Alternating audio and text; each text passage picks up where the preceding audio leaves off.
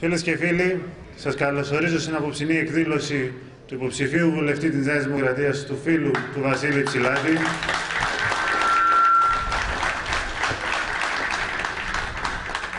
Όπως γνωρίζετε καλά, έχουμε μπει στην τελική ευθεία μιας εκλογικής αναμέτρησης και προσδοκούμε μια μεγαλειώδη εκλογική νίκη. Προσδοκούμε τα δωδεκάνησά μας να αντιπροσωπευτούν και πάλι από βουλευτές που τους αξίζουν, από ανθρώπους που πράγματι τους νοιάζονται και που είμαι βέβαιος ότι όλοι συμφωνούμε πως ο Βασίλης είναι ένας από αυτούς. Ο Βασίλης Ψηλάτης, το γνωρίζουμε όλοι πολύ καλά, είναι ένας δραστήριος άνθρωπος για τη Δωδεκάνησο, έχει υπηρετήσει τα νησιά μας και την ΚΟ από πάρα πολλές θέσεις, έχει υπηρετήσει την, τα Δωδεκάνησά μας από την ύψιστη θέση του βουλευτή ε, στο Ελληνικό Κοινοβούλιο και πάντοτε τα κατάφερνε πάρα πολύ καλά. Γιατί, Γιατί πολύ απλά ακούει τους νησιώτες, ακούει τους Δωδεκανήσιους, ακούει τους κόους. Το τηλέφωνο είναι πάντα ανοιχτό, είναι ένας άνθρωπος με βούληση και με θέληση που με αυταπάρνηση πάντοτε μπορεί και δίνει λύσεις στα προβλήματα των νησιωτών μας. Όλοι μαζί θα δώσουμε μία μεγάλη μάχη για το καλό της ΚΟ και το νησιό μας. Κατά τη διάρκεια της προηγούμενης κοινοβουλευτικής μου θητείας, όποτε μου ζητήθηκε, αλλά και όποτε έκρινα ότι έπρεπε να παρέμβω, το έπραξα για το συμφέρον της ΚΟ, αλλά και όλων των νησιών μας.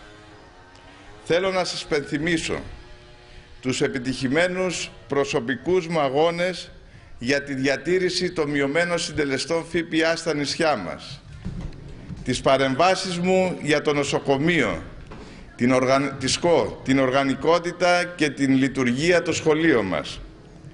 Αυτή την πορεία και τη σχέση μαζί σας που μοιράζομαι εδώ και αρκετά χρόνια δεν την εκχωρώ σε κανέναν. Σας καλώ να επικυρώσουμε με αυτοδυναμία της Νέας Δημοκρατίας τις εκλογές της 7ης Ιουλίου. Σήμερα από άκρου εις άκρο της χώρας πνέει ο άνεμος της πολιτικής αλλαγής.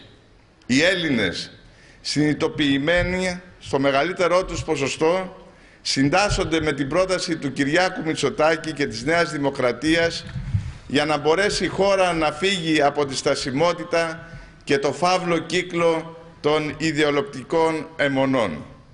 Στόχος μας η άμεση ελάφρυση όλων των Ελλήνων από την υπέρμετρη φορολόγηση, καθώς επίσης και η διάνοιξη διόδου για την αναπτυξιακή ανασυγκρότηση που θα φέρει δουλειά στους Έλληνες και προοπτική στη χώρα. Και εδώ πρέπει να αναδείξουμε μια σημαντική και ουσιώδη διαφορά της δικής μας πρότασης. Εμείς πιστεύουμε ότι η ανάπτυξη της χώρας έχει ατμομηχανή την ιδιωτική πρωτοβουλία.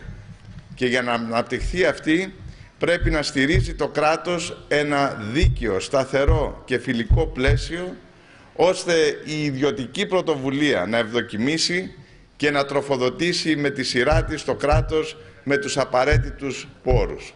Η Νέα Δημοκρατία ήταν εκείνη που κατοχύρωσε συνταγματικά την ισιωτικότητα και έδωσε μέτρα όπως επί κυβερνήσεως ε, Κωνσταντίνου Μητσοτάκη με την ε, σχετική διάταξη στην κοινοτική οδηγία τους μειωμένους συντελεστές σε όλα μας τα νησιά σε αντίθεση με το ΣΥΡΙΖΑ που σήμερα το 2015 τους κατήργησε.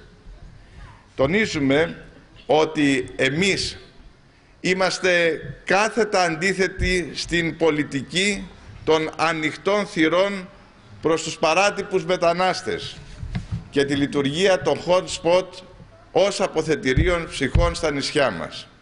Είμαστε σαφείς και σαφή είναι και τα θαλάσσια σύνορά μας. Μόνον οι ιδεολεπτικοί θυσιάζουν τα νησιά μας στο βωμό των στρεβλών, των στρεβλών τους αντιλήψεων περί διεθνισμού.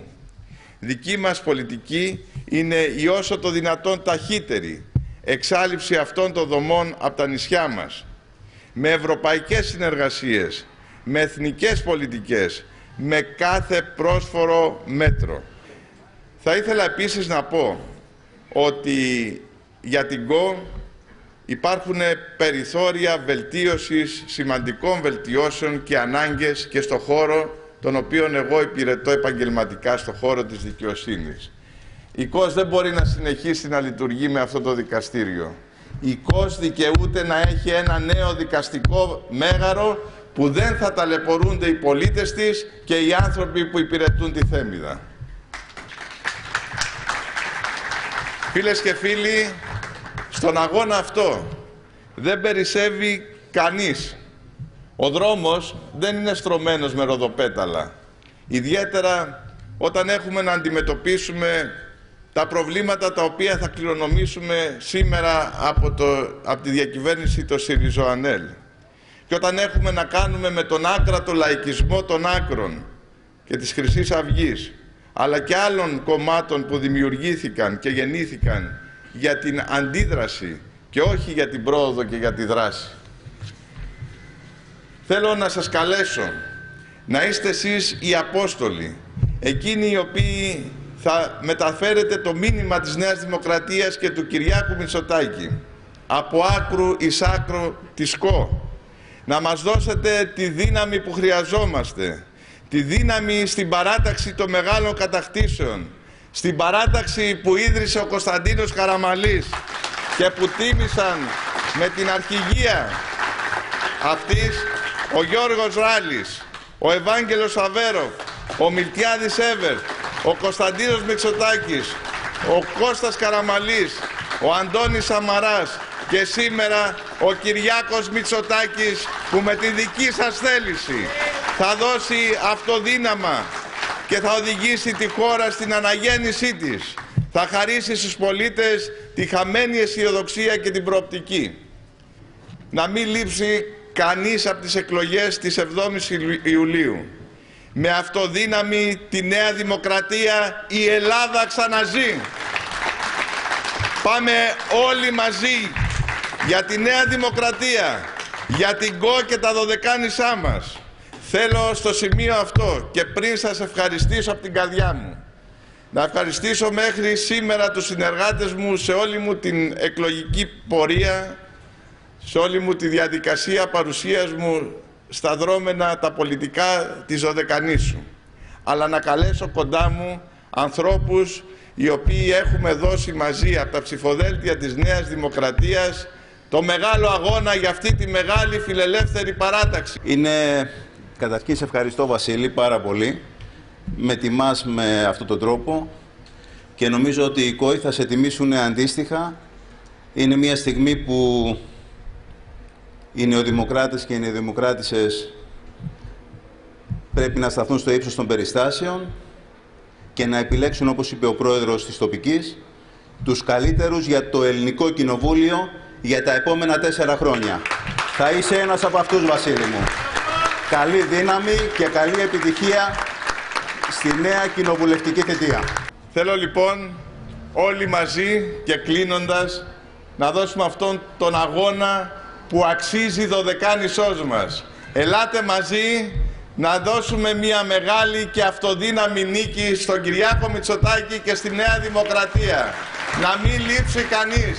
Σας ευχαριστώ πολύ από τα βάθη της καρδιάς μου για τη σημερινή σας παρουσία, για τη μεγάλη τιμή που μου κάνατε να είστε κοντά σε αυτό τον αγώνα, τον μεγάλο, τον ωραίο και τον αληθινό. Να είστε πάντα καλά. Σας ευχαριστώ πολύ. Ευχαριστώ. Ευχαριστώ πολύ.